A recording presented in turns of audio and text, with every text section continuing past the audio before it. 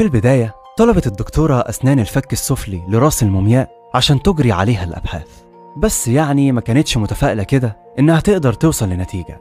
ولكن بالفعل استطاعت لوريل بعد سنتين بحث إنها توصل لنتيجة في 2018 وهي إن راس المومياء دي كانت لذكر. وبالتالي نستنتج من كده إنها للحاكم تحوتي نخت مش لزوجته. وأظن بقى دلوقتي بقى عندنا الخيط الأول ناقص الخيوط التانية واللي كلكم مستنيينها. إيه سبب قتل تحوتي نخت؟ وليه راسه اتحنطت بشكل منفصل تماما عن جسده؟